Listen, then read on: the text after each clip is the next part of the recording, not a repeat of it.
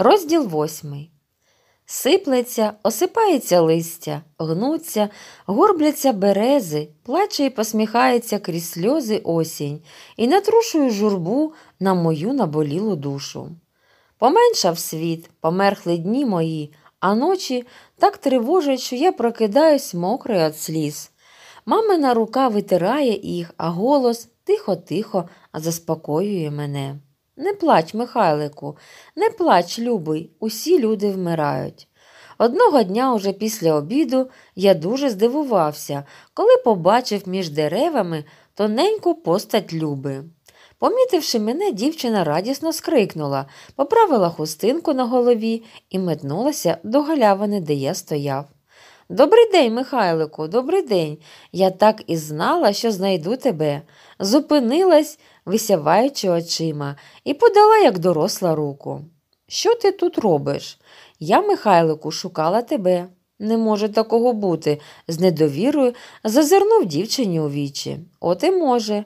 Я знаю, у тебе горе, а коли горе у всіх болить серце. Того й хотіла побачити тебе. Я навіть якось була до твоєї хати підійшла, а зайти посоромилась. Спасибі, Любо. І не кажи такого по-дорослому, мовила вона і вузликом відкопилила губи. А я вже в школу ходжу. У нас в одному класі вчиться дві групи. Менші сидять попереду, більше позаду. Мене ж вчителька посадила на самій першій парті. Хвалиться і радіє дівчина. А чобіт у тебе також нема, поглянув на босі любині ноги, згадав про своє і зітхнув. Ні, є, тільки я їх бережу, бо два роки маю ходити в них. Михайлику, а може, навідаємось у нашу загороду? Там тобі чогось треба? Ні, просто подивимось на борсучу нору, від нирки, на гніздо трясогузки, на джерело. Правда, загляньмо? Можна й заглянути, погодився я, і ми, узявшись за руки, побігли до загородки. На кисличці ми побачили осиротіле гніздечко, дно якого було підбите шерстю, а під кисличкою борсук залишив свіжі сліди. Частенько сюди навідується ласоїд, пригнулася Люба, вивчаючи химерну мережку борсукових слідів. Отак до надвечір'я жебунів і жебунів струмком дівочий голос і потроху розмивав мою печаль. А надвечір'я ми обоє, Люба спереду, а я позаду, сіли на коняку і поїхали додому. Перед селом Люба сказала, що далі піде пішки. А чого їхати не хочеш? Бо не годиться, засоромилась вона. Чого ж не годиться?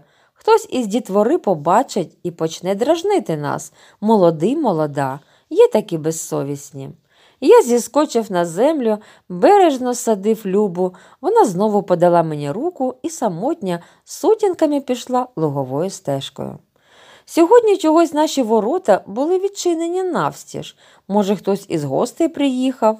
Я під'їжджаю до стаєньки, пускаю повід, а в цей час хтось позаду дужими руками піднімає мене вгору, а потім притуляє до себе. І острах, і перечуття радості відразу охопили мене. От всього цього я примружив очі, а коли розплющив їх, побачив незнайоме і ніби знайоме обличчя і знову примружився. Михайлику, не пізнаєш? Усе тісніше притуляє мене до себе високий, широкоплечий чоловік із коротко підстриженими вусами. Ні, не пізнаю, кажу я тихцем, і тепло тепло стає мені на грудях цього дужого, незнайомого, іначе знайомого селянина. Ви звідки будете?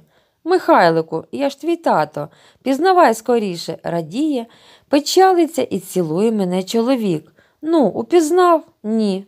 От тобі і маєш, аж зітхнув чоловік, а очі його стають вологими. До нас підійшла усміхнена мати. Пізнав? запитала вона батька. Та ні.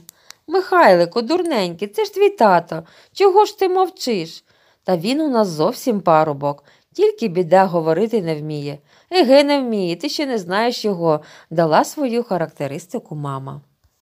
Тепер, напевне, взнає, нікуди не дінеться. Ось я його завтра до школи поведу. Поведете, стрепенувся я і зазирнув батькові у вічі. «А вже ж, хочеш учитися? Ой, хочу, тато, охопив батько за ноги, а він чогось закліпав повіками і поклав руку на мою голову. Другого дня тато взяв мене обстриженого, накупаного і задягненого в нову сорочку і штанці за руку і повів до школи. Коли дзвоник задзвонив на перерву і дітвора горохом посипалась із класу, батько підійшов до русокосої вчительки, привітався з нею і нахилив голову в мій бік. Привів Настя Васильівну вам свого школяра. Може, із нього буде якийсь толк.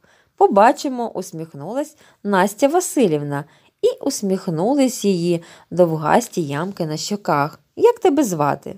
Михайлом, а вчитися хочеш? Дуже хочу. Так вирвалось у мене, що вчителька розсміялась. Сміх у неї приємний, м'який і аж угору підіймає тебе. Тільки пропустив чимало він, сказала батькові.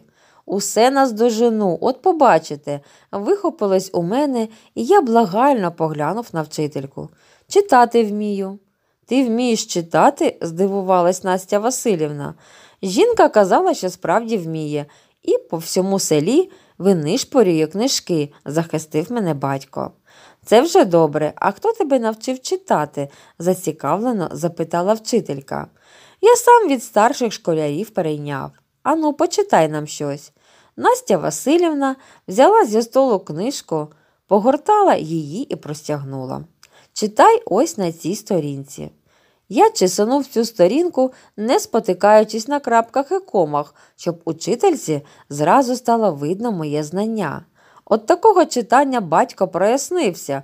Учителька здивувалась, а потім, сміючись, запитала А ти ще швидше не можеш?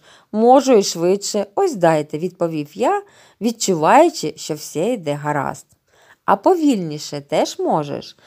І повільніше можу, здивувався, бо на що робити повільніше те, що можна швидше випалити? Ну, то прочитай, зважаючи, що в книжці ще є розділові знаки. Далі я читав, зважаючи на знаки, і бачив, як щасливий батько любувався своїм читальником. А цифри ти знаєш? запитала вчителька. І цифри до тисячі знаю, а таблицю множення. Ні, цього не знаю, зітхнув я і побачив, як посмутнішав батько. Але вчителька відразу ж нас так порадувала, що тата ніби аж підріс, а я мало не підстрибнув угору. Панасе Дім'яновичу, доведеться вашого школяра записати в другу групу. Спасибі вам, чемно подякував тато. Пишіть, коли на другу потягне. Учителька повела мене за собою на ту половину класу, де вчилася друга група. Ось тут, Михайле, будеш сидіти, показала мені на тримісну парту. Завтра приходь з ручкою, чорнилом, олівцем, а я книжки тобі зараз дам. Додому я не пішов, а летів, бо, по-перше, міг похвалитися, що мама відразу має школяра не першої, а другої групи. По-друге, треба було збігати в ліс, нарвати ягід бузини, надерти дубової кори, а потім зварити їх з ржею, щоб на завтра було те чорнило, яким тоді писали. Удома нас дожидали мати і дядько Микола. Коли батько сказав, що мене прийняли в другу групу, мати відразу зумно повторила своє. І що тільки буде з цієї дитини? Учився я добре, учився б, напевне, ще краще, аби мав у що взутися. Коли похолодало і перший льодок затягнув калюшки, я мчав до школи, наче ошпараний. Напевне, тільки це навчила так бігати, що потім ніхто в селі не міг перегнати мене, чим я неабияк пишався. Коли ж, прокинувшись одного ранку, я побачив за вікнами сніг, усе в мене похололо. Як же я тепер піду до школи? У хаті цього ранку жарився не тільки я, але й мої батьки. Після сніданку тато одягнувся в керею з грубого саморобного сукна і сказав Сніг не сніг, а вчитися треба. Підемо, Михайло, до школи. Він узяв мене на руки, вгорнув полами киреї, а на голову надів заячу шапку. Як же йому, горопасі без чобіт, болісно скривилась мати. Дарма заспокоїв її батько. Тепер такий час, що не чоботи головне. А що? Тепер головне свіжа сорочка і чиста совість, усміхнувся батько. Правда, Михайлику? Правда, щільно притуляючись до тата, і ми обоє під зітхання матері покинули оселю. Дорогою люди дивувались, що Панас на руках несе в школу сина. Деякі школярі на це диво тицяли пальцями, а я мало не заплакав із жалю і з тієї радості, що батько не дасть мені покинути науку. Отак перші дні зими тато заносив мене в школу, а після уроків знову загортав окерею і ніс додому. До цього призвичаїлися і школярі, і вчителька, і я. Якби тепер запитали, яку найкращу одіж довелося мені бачити по всіх світах, я, не вагаючись, відповів би кирею мого батька. І коли іноді у творах чи п'єсах я зустрічаю слово кирея, до мене трепетно наближаються найдорожчі дні мого дитинства. Якось, коли на дворі хурделило, батько припізнився і тільки надвечір, засніжений з вусами, але веселий він зайшов у клас і голосно запитав А котрий тут безчобітько? Це я вискочив із за парти, де сиділи мої однокласники. Хто це ти? Наче не пізнавав мене батько. Син Панасів, бадьоро відповів я. Тоді лови. Батько кидає мені справжнісінького бублика. Я підстрибую, перехоплюю гостинця і радію, що він навіть із маком. Ви на ярмарку були? Питаюся, шкодуючи їсти бублик на ярмарку. І щось купили, і щось купили. Весело і змовницьки підморгнув мені батько, а з його брови закапав розталий сніг. Ось дивись. Він потрусив кирею і на підлогу упали справжнісінькі чоботята. Я спочатку остовпів, поглянув на чоботята, далі на батька і знову на чоботята, що пахли морозом, смолою і воском. Це мені? запитав я тихо-тихо. А кому ж засміявся батько? Взувайся, сину. Я підхопив чоботята, підняв їх угору, і вони блиснули срібними підківками. І мені згадалися дідові слова Будеш і ти, межи люди, вибивати іскри.